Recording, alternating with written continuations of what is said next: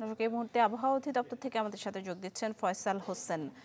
ফয়সাল, আবহাওয়া অধিদপ্তর কি বলছে? সবশেষ আবহাওয়ার আপডেট কি?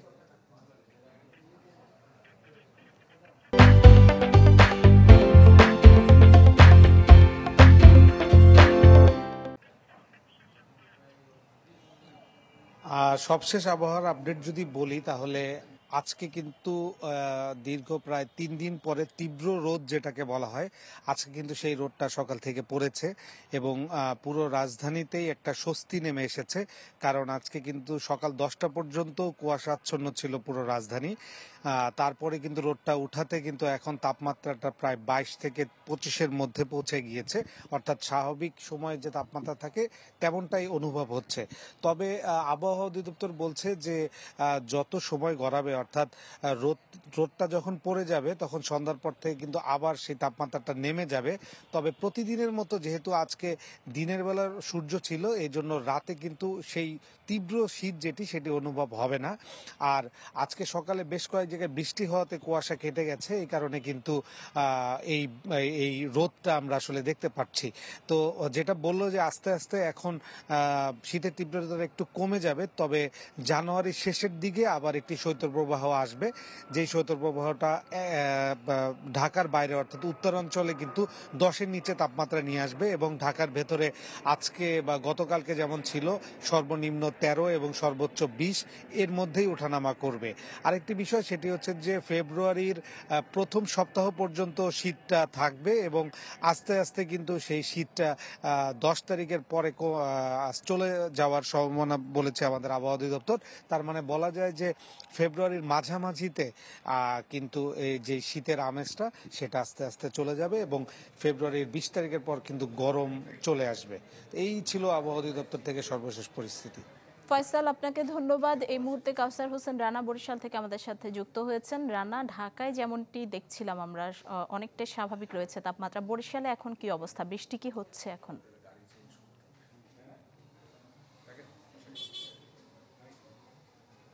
হ্যাঁ নিশি একদিকে তীব্র শীত তার সাথে বৃষ্টি। এই দুই অবস্থায় কিন্তু সাধারণ মানুষ যারা রয়েছেন, তাদের জনজীবন বলা যায় যে ব্যাপক দুর্ভোগ নেমে এসেছে। বিশেষ করে রিক্সাওয়ালা ফেরিয়ালা এই ধরনের যারা খেটে খাওয়া মানুষ, তাদের কিন্তু বেশি দুর্ভোগ পোহাতে হচ্ছে। এর সাথে বৃষ্টির কারণে এবং তীব্র শীতের কারণে বরিশালের শিক্ষা প্রতিষ্ঠান বন্ধ রাখা হয়েছে। তবে মাধ্যমিক শিক্ষা প্রতিষ্ঠান বন্ধ রাখা হলেও প্রাথমিক যে শিক্ষা প্রতিষ্ঠান, সেগুলো কিন্তু খোলা রয়েছে। যদিও শিক্ষকদের সাথে আমাদের কথা হয়েছে, তারা জানিয়েছেন যে বিদ্যালয় খোলা থাকলেও ঘন্টাখানেক আগে শিক্ষার্থী যারা ছিলেন তাদেরকে কিন্তু ছিল, তাদেরকে ক্লাস তাদের ক্লাস সাসপেন্ড করা হয়েছে এবং তাদেরকে বাড়ি বাড়ি চলে যেতে বলা হয়েছে।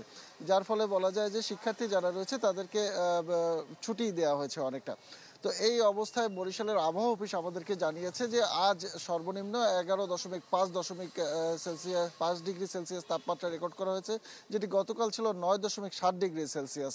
অর্থাৎ তাদের হিসাবে গতকাল মৃদু সত্য প্রবাহ ছিল, আজ মৃদু সত্য প্রবাহ না থাকলেও আজ তাপমাত্রা কম অনুভূত হচ্ছে, যেটি তাপমাত্রার যে হিসাব রেখা সেখানে বেশি দেখালেও তাপমাত্রা অনুভূত কম মনে হচ্ছে। আমাদের সাথে কথা হয়েছে জেলা প্রশাসক মোহাম্মদ শহীদুল ইসলামের সাথে, তিনি আমাদেরকে জানিয়েছেন আসলে তাপমাত্রা স্কেল যেটি, সেটি উপরে রয়েছে এবং তাপমাত্রা কম অনুভূত হয়। প্রাথমিক বিদ্যালয়গুলোকে বন্ধ রাখা যায়নি। তবে যেহেতু তাপমাত্রা কম রয়েছে, সে, এর আগে তারা দুস্থ যারা রয়েছেন, তাদের মাঝে কম্বল বিতরণ করেছেন এবং এই ধরনের সাহায্য সহযোগিতা তাদের অব্যাহত থাকবে। আর সাধারণ মানুষ যারা রয়েছেন, তারা বলছেন যে আসলে এই অবস্থায় তাদের তো কাজ করতে কষ্টই হচ্ছে। এই অবস্থায় সরকার বা সরকারি সহযোগিতা যদি তারা পায়, তাহলে তাদের জন্য ভালো হয়। তো এই ছিল বরিশালের, আমার কাছে সর্বশেষ তথ্য। নিশি। রানা, আপনাকে অনেক ধন্যবাদ। এই মুহূর্তে আমাদের সাথে কুড়িগ্রাম থেকে গোলাম আল্লাহ সিরাজ যুক্ত হয়েছেন। সিরাজ কুড়িগ্রামের আবহাওয়া অফিস থেকে সবশেষ কি তথ্য পেয়েছেন? নিশিব কুড়িগ্রামের আবহাওয়া অফিস আমাদেরকে যেটা জানিয়েছিল যে সকাল নয়টায় কিন্তু কুড়িগ্রামের তাপমাত্রা রেকর্ড করা হয়েছে নয় ডিগ্রি সেলসিয়াস এবং সে কারণে দশটার দিকে কিন্তু এ জেলার যতগুলো শিক্ষা প্রতিষ্ঠান রয়েছে, সেগুলো কিন্তু বন্ধ ঘোষণা করে করা হয়েছে ইতোমধ্যে।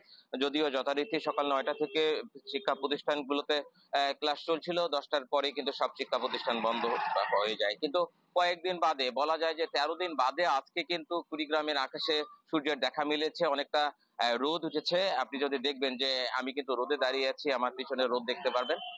তো যে এই ক- গত কয়েকদিনে যে মানুষের জীবনের যে একটু ছন্দ পতন ঘটেছিল, সেটার কিন্তু কিছুটা হলেও স্বস্তিতে ফিরেছে মানুষ এই রোদ পেয়ে। তবে এই রোদের পরে যে আবারও কুয়াশা নামবে, আবারও ঠান্ডা নামবে না এই শঙ্কা কিন্তু মানুষের আছে যে আবারও কিন্তু রোদের পরে ঠান্ডার তীব্রতা বাড়ে এবং কুয়াশার তীব্রতা বাড়ে, এর আগেও যেটা দেখা গিয়েছিল।